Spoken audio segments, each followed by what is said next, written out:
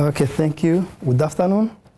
Actually, my presentation is about the location-based network selection over multi-tier heterogeneous wireless network. Normally, the way our wireless devices select a network, they select based on the power signal received. Now I'm proposing another one, location-based. We're gonna see why I'm proposing this one. I start by introducing work, then we discuss about related work. Uh, I will introduce my approach, then discuss results and the question and answers. Uh, actually, I'm working with vehicular network where vehicles are having wireless equipments already embedded. They can communicate between them or they can even communicate with the fixed equipments. That's what we call roadside units. In this new technology of vehicular network, we have new applications. We have three main applications. The first one is road safety, where this technology can help avoiding new crashing or reducing them as possible. The second is traffic management. Through this application, the driver of a vehicle may be advised about the traffic environment. Maybe your way, your road is over congested, you better take another one. This traffic management. Uh, the last one is entertainment, where the internet is extended on the board. The passengers as well as the driver can still surf the internet as being at the office. Normally, we have two types in vehicular networks. We have a vehicle-to-vehicle communication and a vehicle-to-infrastructure communication. Both of them, the vehicle is smart enough to have wireless devices embedded inside so that they can exchange information. And we may have the same technology implemented on access points at the roadside so that they can still communicate with infrastructure. We are much focusing on this one, V2I communication. The enabling technology for this vehicular network, so far we have only one standard protocol, which is called dedicated short-range communication, and it's known as IEEE 802.11p. And only one protocol existing is not enough in terms of scalability. Why? Because it's not already installed or deployed everywhere. We need another alternative way of supporting this kind of network. That's why various researchers has proposed to use a cellular network or WiMAX or WLAN, which includes Wi-Fi. In my case today, I'm using cellular network as an alternative to that uh, one already developed for vehicular network. When we do decide to use a cellular network to support our vehicular network, it may be somehow challenging. Why? Because the next generation of wireless communication is proposing to use multiple small cells overlaid by one macro cell so that they, they, they can solve a problem of having multiple subscribers, uh, increase, increase the number of subscribers. And the small cells are used to offload the macro cell. Macro cell is the wide one.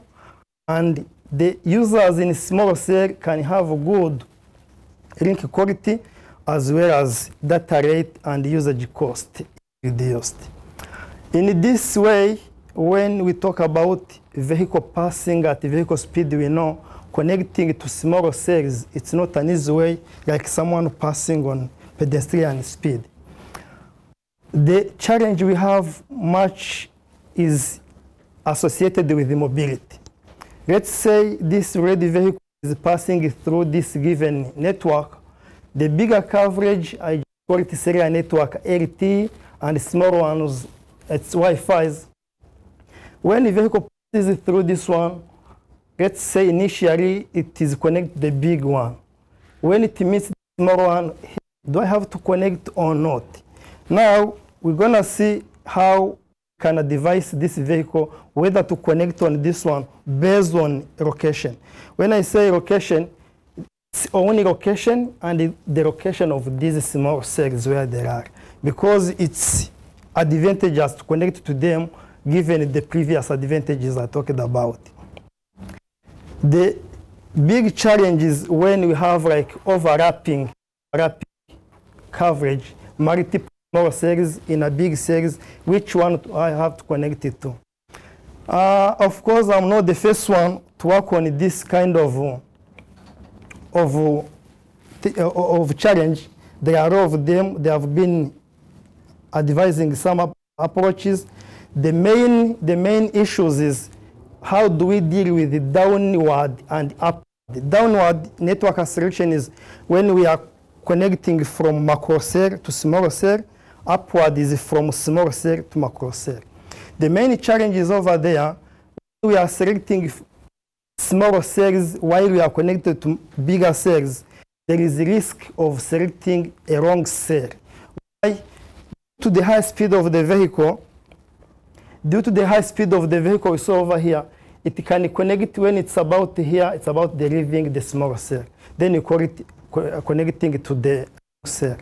When you are connecting from small cell to the bigger cell, we have delayed the handoff. This is explained in the following diagram. Over here, we have a small cell we, and mobile node is passing at 8 km per hour, we high speed.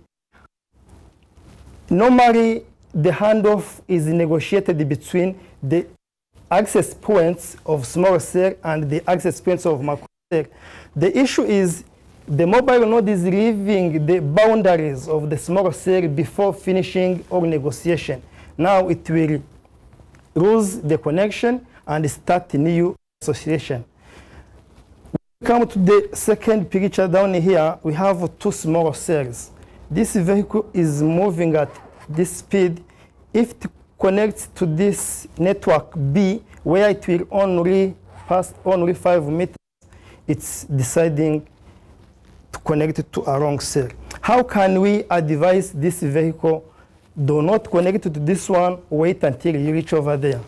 That's the main idea of our work is to give to devise this vehicle to decide to which one to connect based on its own location and the location of these ones.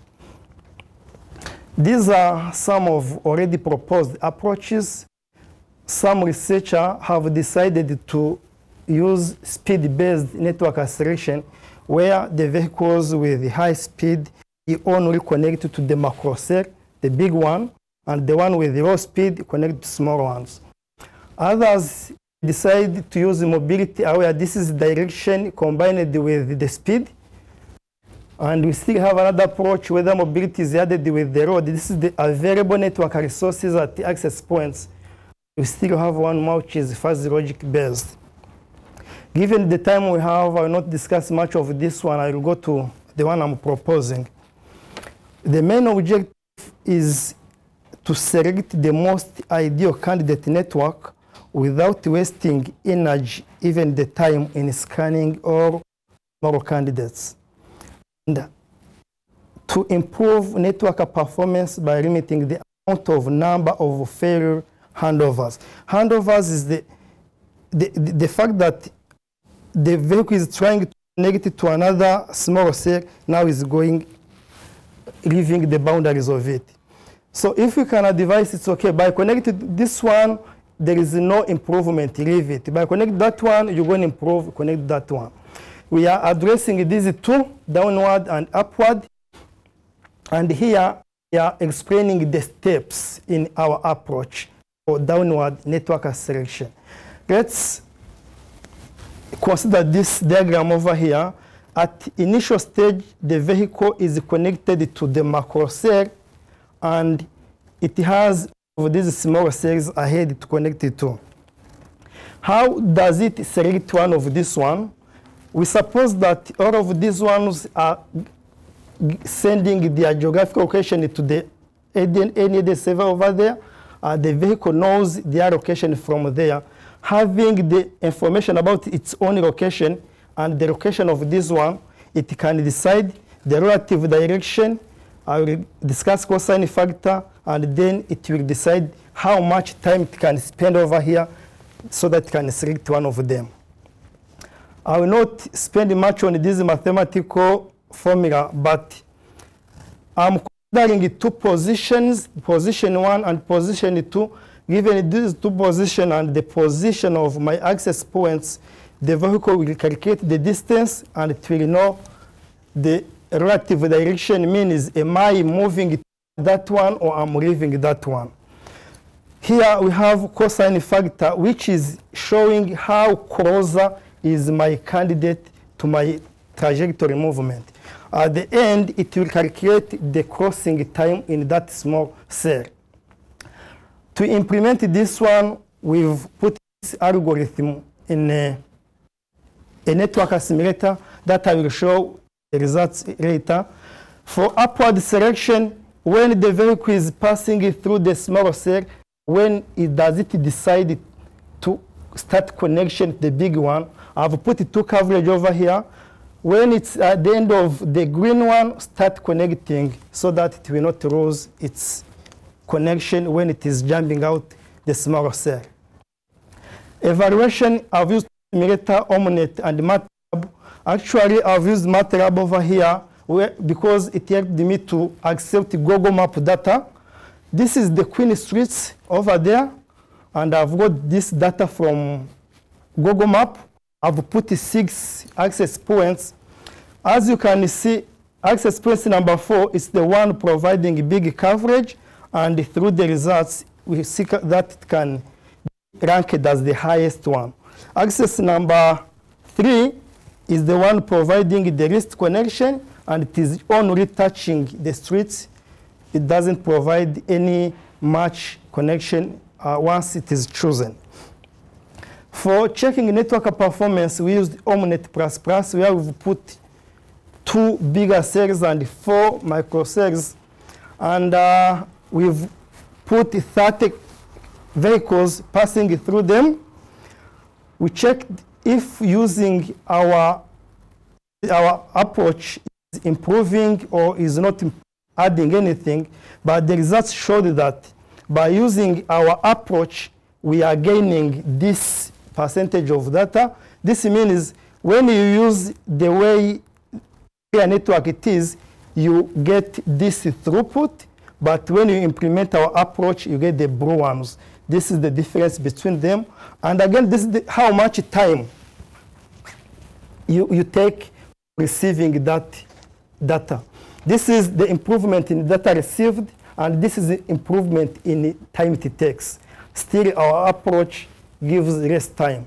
With this, we can conclude that we can conclude that our approach improves the network throughput useful data by 16% and reduces the end-to-end delay time by 14. Our future work that we have already started, instead of only using cellular network, we are also considering these two. We're going to see by combining three ones what will be the output. I think that's all to present by today. Thank you.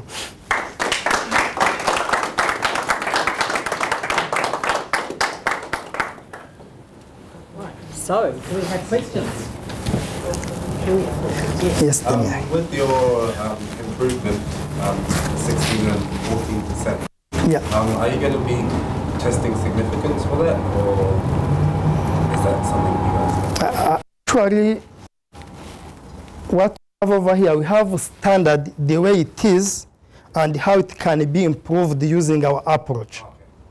So we take the way it is, we take measurements. And we put our approach, we take another measurements. Then we see by throughput, we have 16% improved. By end-to-end time it takes, then we still have 14 improvement. Yeah. Uh, How and where did you put your access point, and did you have any help for those? strategically, just saying it's okay. I want one of one of them to cover whole, like how the coverage of access points number four is covering the Queen Streets. and the others I just put them, and I made sure that Put them yourself or you ask, uh, myself, myself, this is Google Map.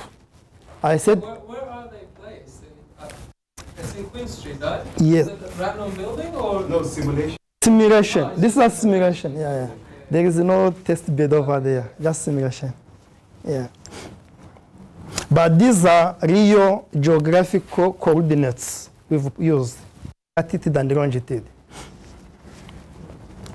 Uh, do you- is, Do you have any specific, we want to add to his question, do you have any specific reasons why you have located your access point in these strategic locations? Yeah, actually, this is location-based, location-based network selection. Then we need all of them to have different various coverage of my, my movement trajectory. As you can see, the one which is number four is one covering the biggest one, and axis number three is one just touching. So saying I want this vehicle to have an information before reaching there, don't even try to connect it to three, but start negotiating four is the better connection for you. Based on what calculation or estimation you put this uh, distance? Uh, actually, we are using Haversine formula. The distance we are using is the spherical distance, not a straight line, because you know the Earth is spherical form. So we are using that uh, this formula over here, which is considering latitude and longitude, so that the distance we have over here, they are not straight lines. These are curved. Yeah. It's obviously provoked and stimulated a lot of uh, interest. Other questions?